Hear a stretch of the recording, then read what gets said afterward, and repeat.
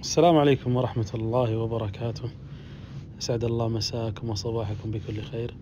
آه، نقدم لكم في هذا الفيديو عن الذئاب في شمال المملكة تحديدا منطقة الجوف. محدثكم أبو ياسر بندر الشراري. كما تشاهدون الذئاب تم رصدها في الليل في ساعات الفجر ويبدو أن أو كان هناك وجبة وتناولت هذه الذئاب قبل تصوير هذه الكاميرا. كما تشاهدون الأم في فمها بقايا من أرجل أو عظم لأحد الفرائس يلاعبها الإبن. الأم هي اللي جالسة ورابضة والإبن الواقف أمامها.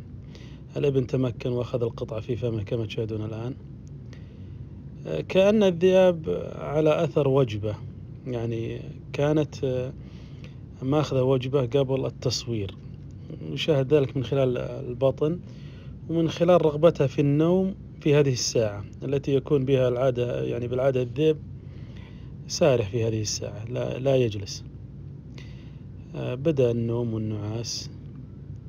تغفي الذئاب الآن. سبحان الله أذان الأم متجهة لناحية الشعيب. تشعر الأم بوجود طبعا ممكن يكون في حيوانات كثعالب أو قنافذ في جهة الشعيب ما في خطر تعود للنوم مجددا بينما الثاني الابن نفس الكلام نايم الأخير في سبات عميق جدا لا يتحرك نهائيا. حتى أن الكاميرا لم ترصد نوم الذئاب كاملا بسبب عدم حركتها. تستمر الذئاب في النوم وهي تنتظر قدوم الزوج. كما قلنا أن هذه الأنثى ومعها اثنين من الجرى والحقيقة عمرها يعني كبير يفترض أنها تكون مع الأب والأم في رحلة الصيد. لكن لا أعلم لماذا لا تذهب معهم. تستمر في النوم الآن. شعرت بتقدم أو وصول الأب. يلاحظ ذلك من حركة الذيل أو الذنب أن القادم ليس عدو وإنما مرحب به. استقبلته الأم والأبناء الاثنين. طبعا الأم ذنبها قصير شوي يعني مثل ما نسميها بالعامية جابعة شوي. استقبل الأب والأب الآن يظهر لكم. هذا هو هذه عيونه جت.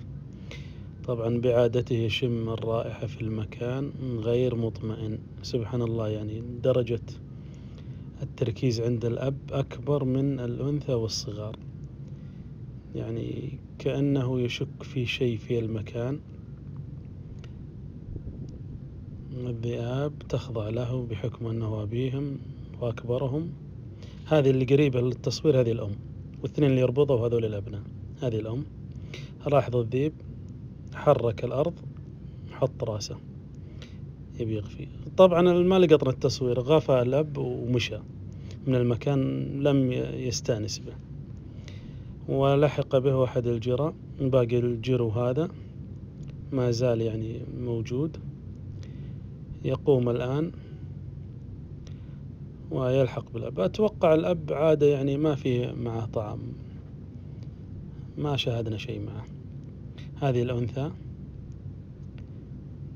ذهبت وهذا الابن يأخذ بقايا العظم الآن ويتوكل على الله.